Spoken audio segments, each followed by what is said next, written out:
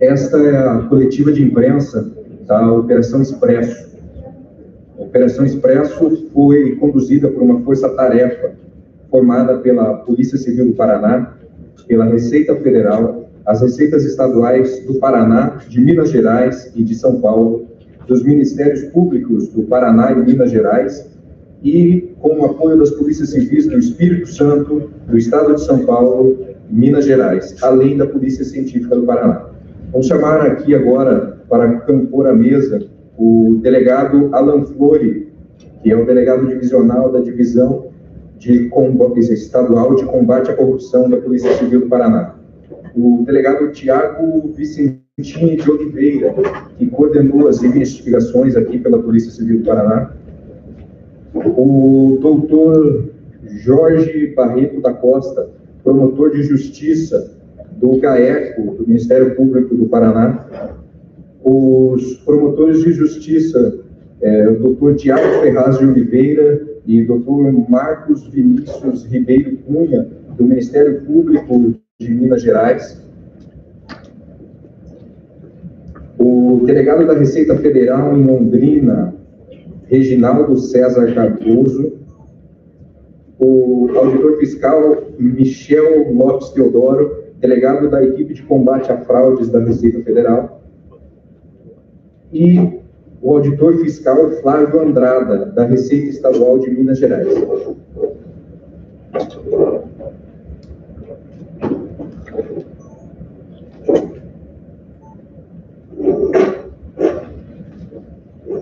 Com a palavra, o delegado Alan Flori, delegado divisional da Divisão Estadual de Combate à Corrupção da Polícia Civil do Pará. Não vai colocar?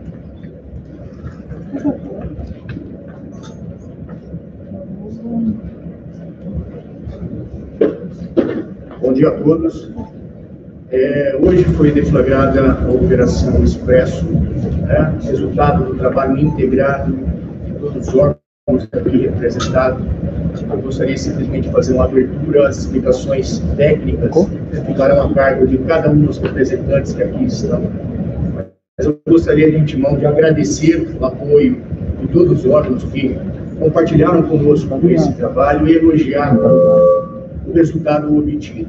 É um resultado que está sendo rigoroso e esse resultado mostra como é benéfica a atuação conjunta para o enfrentamento de um objetivo comum, a sonegação fiscal pelos órgãos competentes da fiscalização tributária e uh, a investigação criminal por parte da Polícia Civil do Estado do Paraná e dos Ministérios Públicos. É, então, gostaria de passar a palavra agora para o próximo representante, para que seja feita essa explicação de uma forma mais detalhada, agora trazendo ao conhecimento de todos os dados que nós temos e que foram coletados ao longo de todo esse período de investigação. Por fim, eu só gostaria de ressaltar é, que o Estado do Paraná vem desenvolvendo um trabalho é, permanente é, de enfrentamento à sonegação fiscal. É, essa força-tarefa está sendo constituída é, em Curitiba, né, obviamente com órgãos estaduais, e aí fazendo parte a Polícia Civil, Ministério Público e Receita Estadual. Mas, obviamente, que é, a atuação conjunta com outras receitas estaduais também é algo é, inevitável, né, imprescindível, da mesma forma que o trabalho que é feito pela Receita Federal é de suma importância para que todas as investigações possam alcançar o melhor resultado possível. Então, parabenizo mais uma vez a todas as instituições aqui representadas e as outras que não estão aqui, mas que participaram ou prestaram apoio porque realmente o trabalho que foi desenvolvido ao longo desses dois anos foi um trabalho grandioso. O delegado Tiago Vicentini de Oliveira, que é o coordenador da investigação por parte da Polícia Civil do Paraná.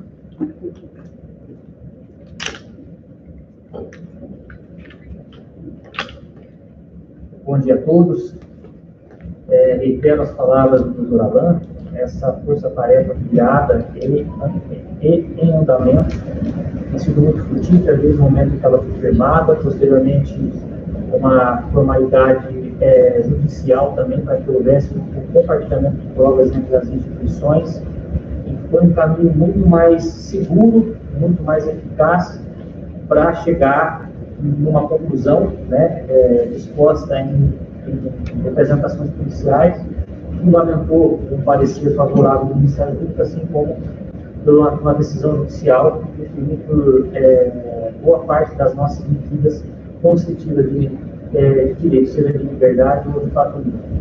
Basicamente, sem entrar nas nuances da, dos termos técnicos, isso com certeza os nossos colegas da, das Receitas Federal e Estadual de Minas vão expor muito melhor.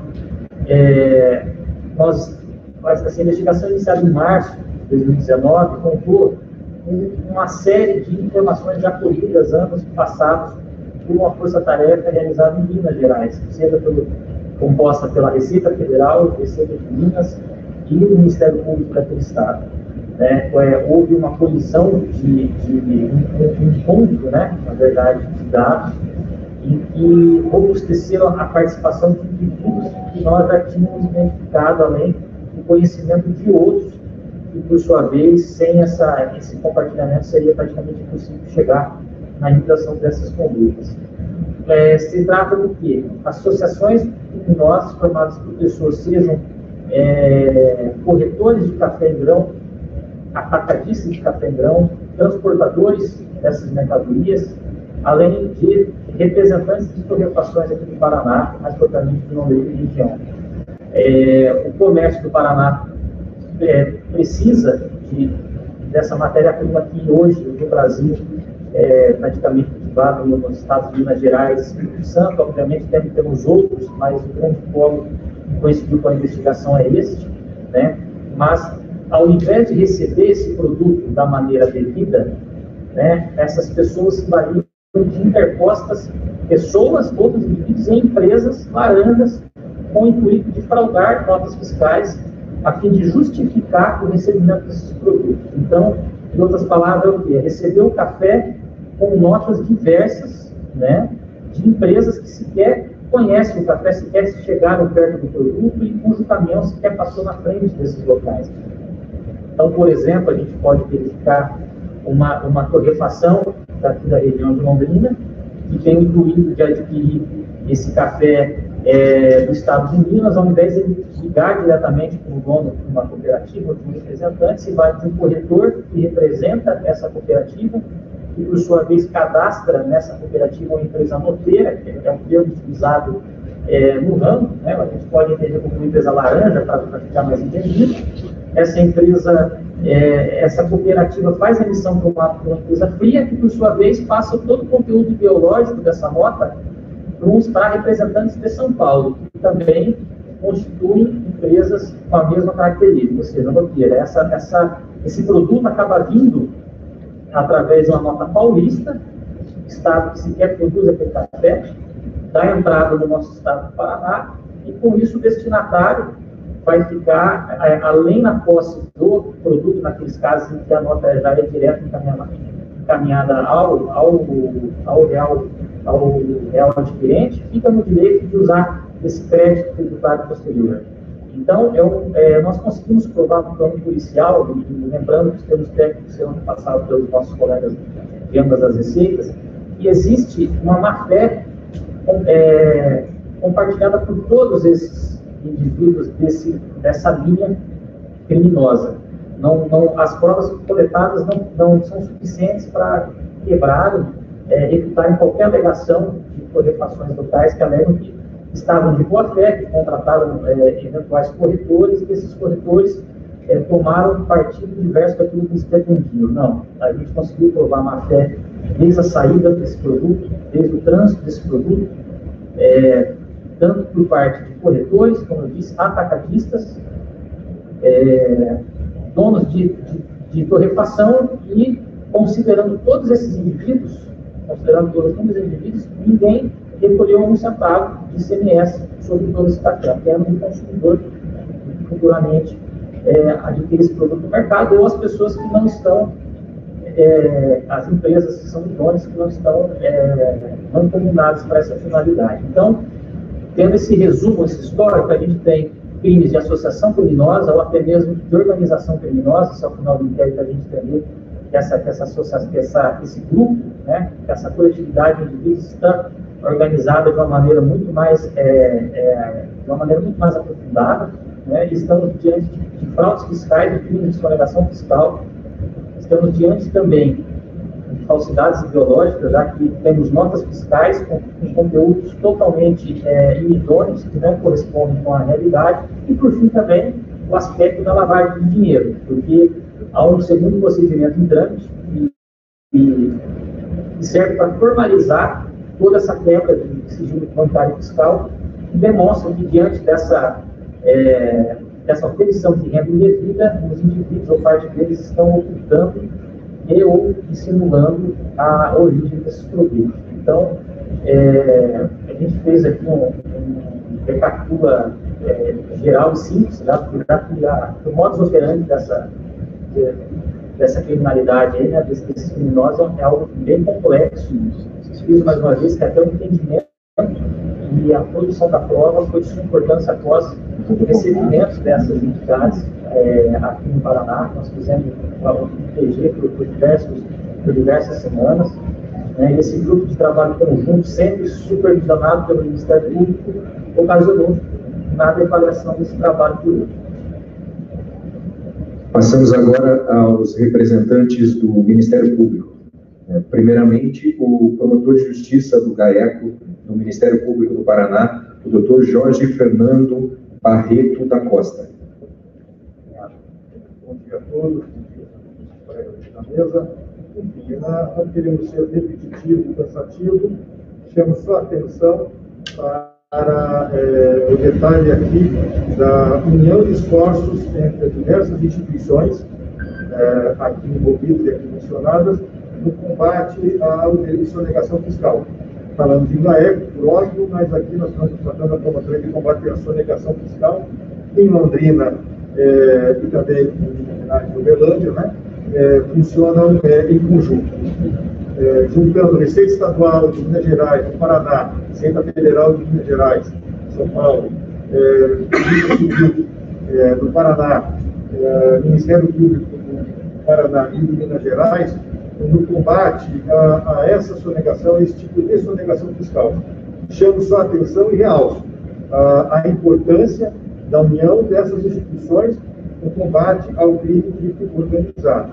Mais uma vez está demonstrado que, unidos, unindo esforços, é, é, funcionamos melhor e é, combatemos melhor a criminalidade organizada. Como foi dito aqui, questões técnicas é, serão, serão dirigidas pelos representantes das receitas estadual e federal. Uh, nosso meu colega aqui de Minas Gerais também explicará é, para vocês é, é o, o, início dessa, dessa investigação, onde tudo começou e de que forma isso começou.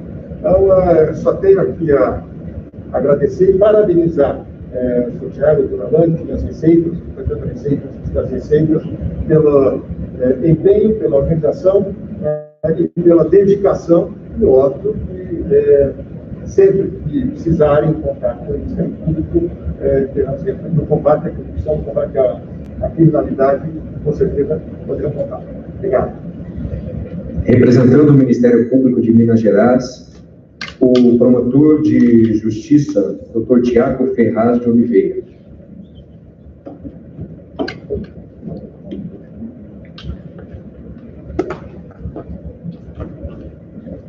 Bom dia a todos. É, gostaria de ressaltar também né, a importância dessa atuação conjunta, não só entre os ministérios públicos, mas também entre a Receita, a Polícia Civil, e todos, todas as forças hoje, nós tivemos quase 700 pessoas hoje envolvidas no cumprimento dessa operação. Ressaltar também que é, a atuação, quando ela é conjunta, a gente consegue suplantar né, as barreiras, as divisas entre os estados e, e conseguir liquidar o crime da melhor forma possível. Nesse caso não foi diferente, em 2018, é, em Uberlândia foi deflagrada a operação grão brocado, e nessa operação grão brocado, nós conseguimos identificar as empresas que abasteciam o mercado de nota fria lá em Minas Gerais. A partir da análise desse material, nós conseguimos identificar os corretores, que eram o elo entre o produtor rural e as cooperativas das indústrias, e também a forma como eles operavam esse esquema, que basicamente era através de empresas de fachada que transmitiam para outras empresas fictícias o ICMS. E, posteriormente, esse, esse ICMS era compensado no estado do Paraná e gerava o prejuízo. Então, nós tínhamos essa investigação lá em Uberlândia e, posteriormente, nós identificamos, é, tivemos o contato de, de, do Paraná e nós cons conseguimos montar essa força-tarefa é, aqui com, com os colegas de Londrina e operacionalizado também pelo Polícia Civil e pela, pelas DCs. É, lá em Minas Gerais, nós já, nós já detectamos um prejuízo, um prejuízo, a emissão de notas no importe de 4,2 bilhões, e isso gera já um prejuízo para os, próprios, para os cofres mineiros no importe de meio milhão de reais. É, é, passamos agora aos representantes da Receita Federal.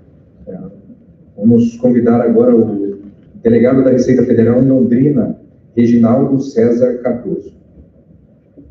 Bom dia a todos. Então, a Receita Federal está trabalhando esquema é, fraudulento há mais de dois anos. E a gente fica muito satisfeito em chegar nesse momento e apresentar esses resultados como já foi dito aqui pelos colegas, só foi possível pela sinergia com os outros órgãos. Então, quando o poder público se organiza, fica muito mais fácil combater o crime organizado e essa operação, ao meu ver, é uma, um ótimo exemplo disso.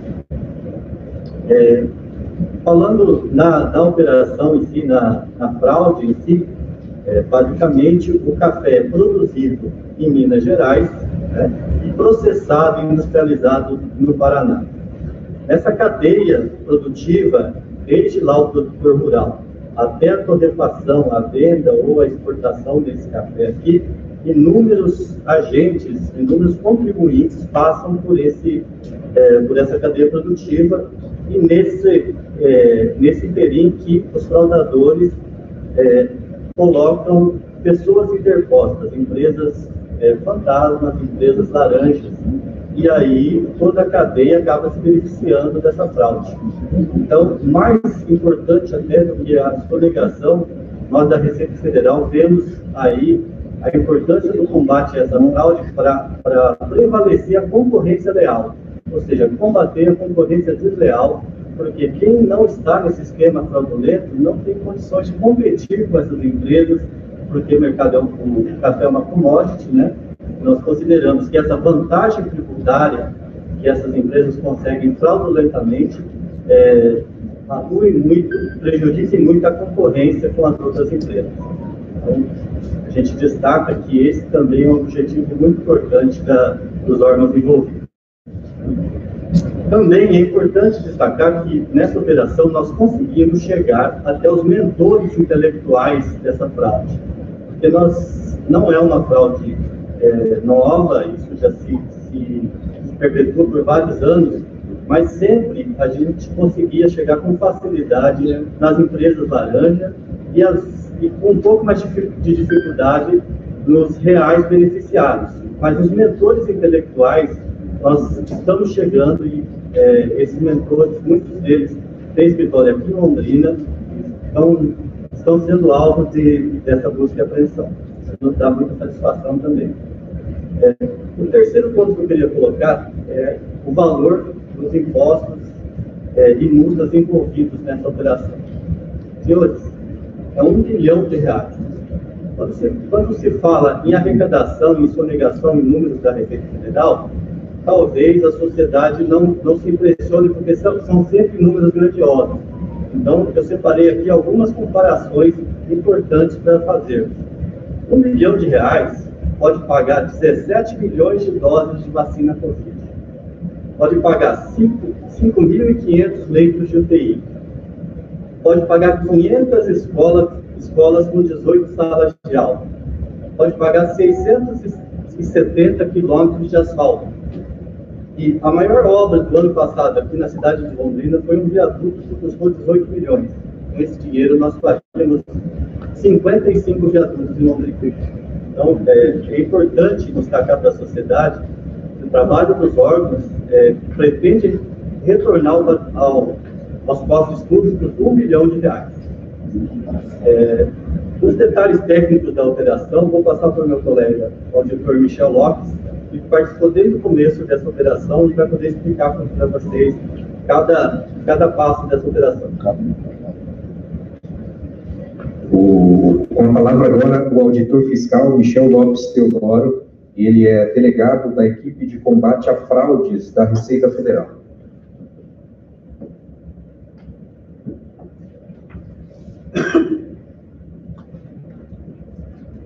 Bom dia a todos.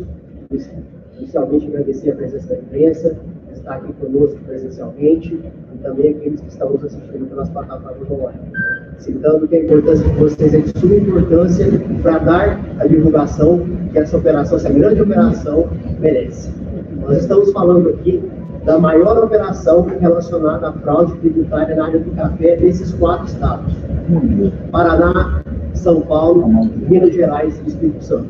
É uma operação de grande vulto que só foi possível da, com a união da Receita Federal com as polícias civil dos estados e também da Receita, Receita Estadual e também do Ministério Público. Gostaria de ressaltar que é, esse, tipo de, esse tipo de combate, quando nós nos unimos, é, todas essas instituições, nós conseguimos avançar com força máxima, justamente para em prol da sociedade. Hoje nós tínhamos 700, 700 servidores públicos na rua, nos quatro estados, envolvendo auditores, analistas e servidores administrativos da Receita Federal, agentes da Polícia Civil, peritos, auditores da Receita Estadual, membros do Ministério Público. Então, justamente para mostrar para a sociedade que nós, servidores públicos é, estatais da, da União e dos estados, estamos avançando justamente no combate à corrupção e à sonegação. Essa investigação, ela, ela já vem há dois anos, né? ela, como o doutor comentou, ela já, o trabalho já tem sido realizado também no estado de Minas Gerais, com a Operação Grão Trocado e também com a Operação Ouro Verde, e unimos esforços aqui com a equipe da Polícia Civil, que já havia com a investigação em andamento, justamente para que nós pudéssemos avançar em parceria para que a gente pudesse hoje deflagrar, deflagrar essa operação. O esquema totalmente sofisticado, envolvendo vários níveis de loteira, loteira que é, o papel dela era especificamente não é vender café, é, empresa de café que não vendia café, o papel dela é vender, vender notas fiscais. E nós tínhamos é, empresas é, em vários estados do Brasil fazendo esse tipo de, de operação. E o objetivo principal né, dessa nossa operação é desmantelar esse, esse bilionário esquema de sonegação fiscal comandado aí pelos corretores de café. Inclusive, como disse o auditor fiscal regional, nós conseguimos chegar aos mentores dessa, desse todo desse, desse esquema. Nós estamos falando, pessoal, de 6 bilhões de reais emitidos é, em notas fiscais em milhões. 6 bilhões, né? Sendo que só no ano passado foi emitido 2 bilhões.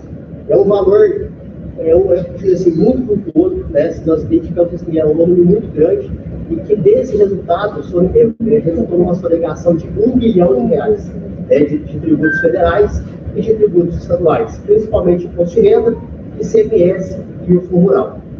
Como comparou aí, bem comparado pelo nosso colega auditor fiscal regional, e principalmente nesse momento de pandemia que nós brasileiros estamos aí todos necessitando, não só o Brasil como o mundo todo, de vacinas, isso dá para comprar 17 milhões de vacinas. Né? É um quantitativo muito considerável que nós precisamos aí identificar o valor sonegado por, essa, por, por todo esse esquema.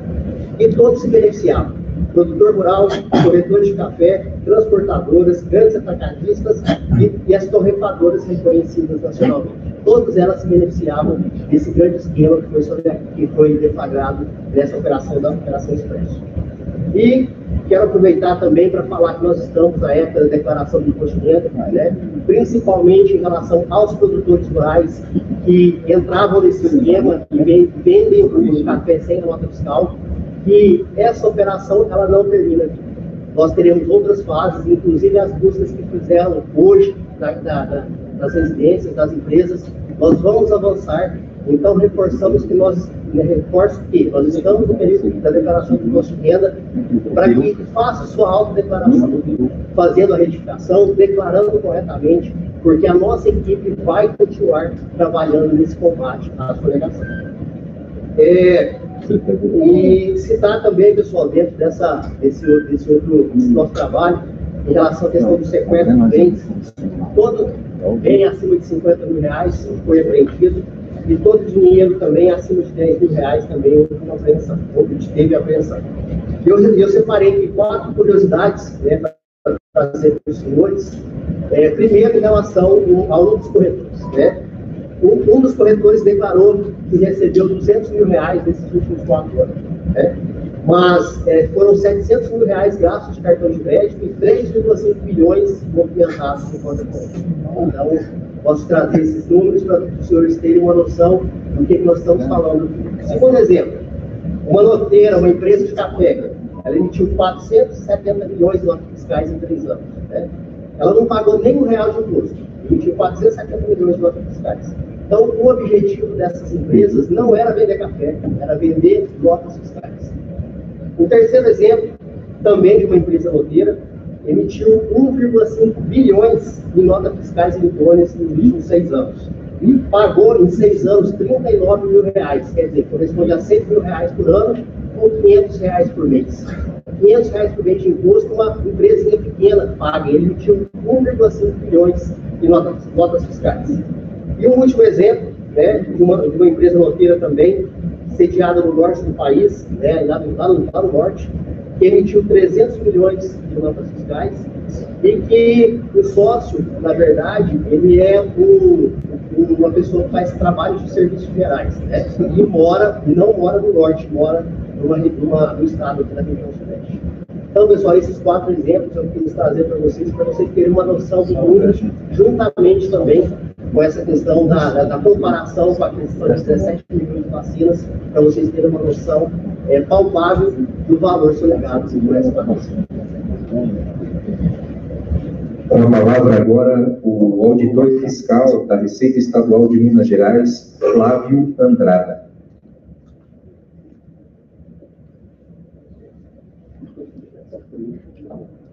Você pode jogar um Sim, um minuto. Bom dia a todos. É, primeiro, dizer que a Receita Estadual.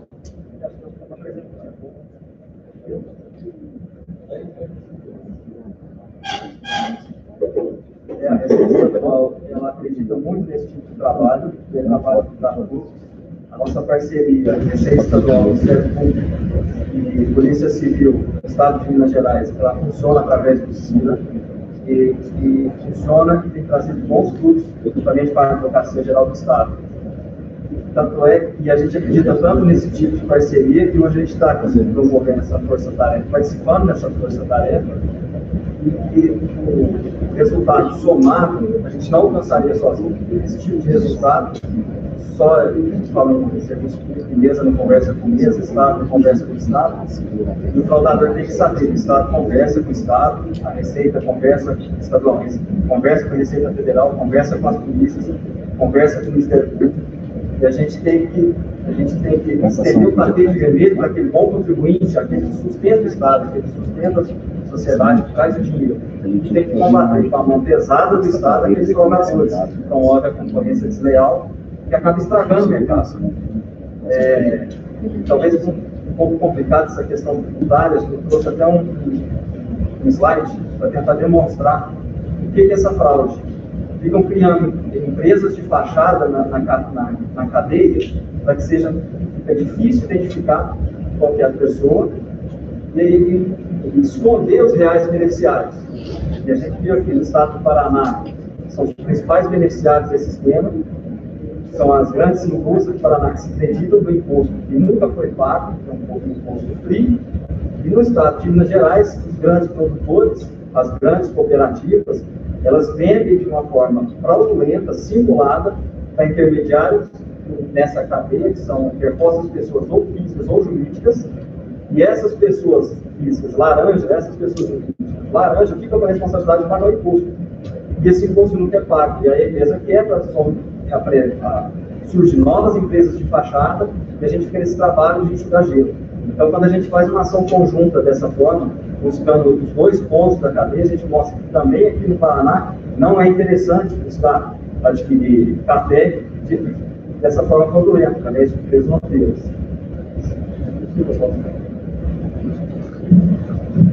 Vou pedir agora para nós descompormos a, a mesa. O auditor fiscal Flávio Andrada vai fazer uma apresentação agora pormenorizada do esquema e ele vai contar também com a participação do auditor fiscal Michel Lopes Teodoro, da Receita Federal, que vai fazer algumas considerações.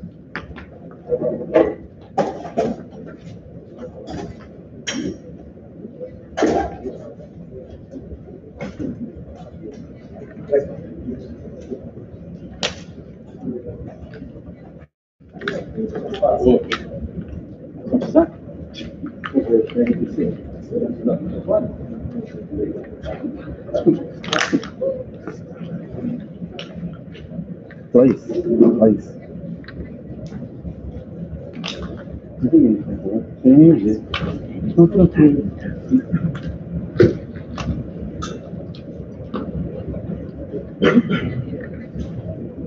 Quantos minutos de mais ou menos, sabe? Não sabe. Posso ver? Opa!